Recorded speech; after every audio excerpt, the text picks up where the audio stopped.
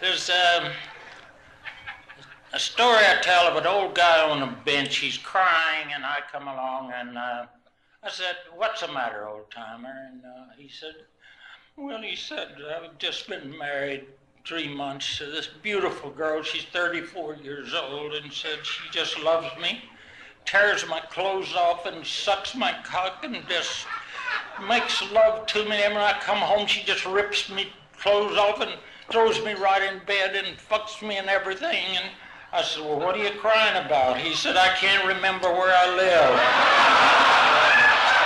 You know.